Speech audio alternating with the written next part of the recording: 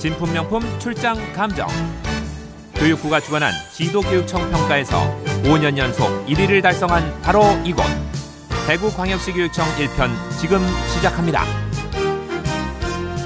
대한민국 교육 수도의 명성을 이어가고 있는 인재 양성의 산실인 대구광역시 교육청을 찾아왔습니다. 진품 명품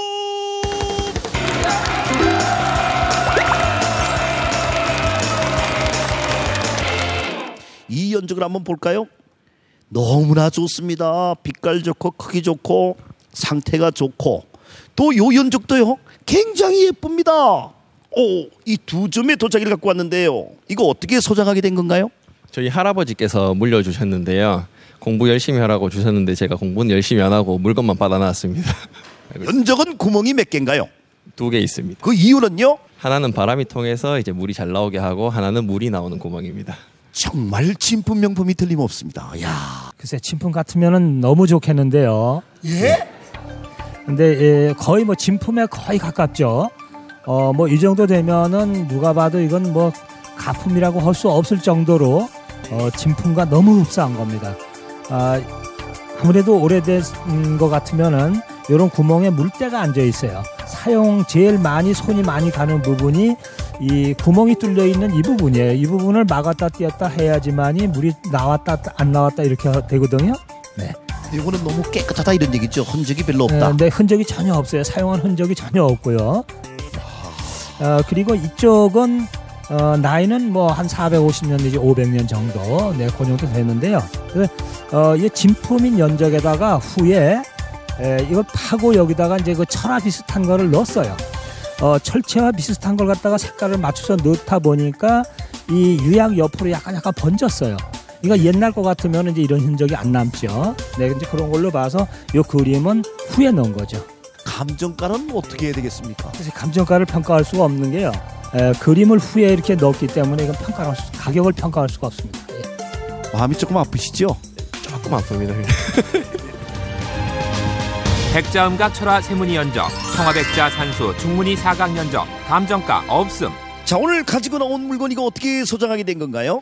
이제 얼마 전에 제가 이걸 구입을 했거든요. 그래서 이거를 뭐 어디에 쓴, 쓰는가를 좀 알아보려고 가져왔습니다. 용도는 뭐 사용한 게 그냥 예뻐서 소장하고 싶어서 샀다 이런 얘기죠? 이게 뭐 서류함이라고 그러던데요. 예. 그렇겠죠. 뭐 소류함이겠죠. 이렇게 열어보면은요. 이렇게 열어보면은 안내용은 이렇게 생겼습니다. 아, 모양은 아주 가볍고요. 제가 이렇게 볼 때는 지금 자물쇠 여기만 지금 나머지는 원형을 다 그대로 어, 가지고 있는 것 같아요. 자, 양희숙 감정위원님, 이걸 버리는 분도 있고 이렇게 사시는 분도 있는데 사시는 분이 훌륭한 분이겠죠? 네, 이런 거 버리면 안 되죠. 네. 그렇군요. 예. 요 나무는 행자 은행 나무로 돼 있고요. 은행 나무로요? 예, 장식은 노쇠 장식입니다. 예. 그리고 이제 이게 거머리가 이렇게 다 돼 있는데 거멀. 거물. 예, 요게 이제 꽃 모양으로 되는 것도 있고 이렇게 일자로 돼 있는 것도 있는데 이렇게 일자가 돼 있는 게 좀 시대가 조금 앞섭니다. 시대가 앞서고요. 네, 이 속에 속 이렇게 예 저기 하나 네모난 게 이렇게 하나 원래는 얹혀져 있었을 겁니다. 근데 그게 이제 중간에 없어지고 그래서. 속에는 중요한 문서를 놓고 위에는 또 뭐 간단하게 지필목 도구 같은 걸 놓고 그렇게 해서 썼던 함입니다. 그러니까 원형 그대로 잘 보존돼 있고 시대는 한 180년에서 200년 정도 되고 죄송하지만 얼마에 구입하셨습니까? 120만 원. 이 상태에서는 180만 원 정도 책정을 하는 게 맞겠습니다. 축하드립니다. 고맙습니다. 문서함 최종 감정가 180만 원 그림에 글맞게 액자도 잘 예쁘게 돼 있는데요. 어떻게 소장하게 된 그림인가요? 부모님께서 어, 책을 가까이 하고 공부를 좀 열심히 하라고 공부방에다가 걸어 두신 겁니다. 이런 그림을 어떤 그림이라고 혹시 알고 계십니까?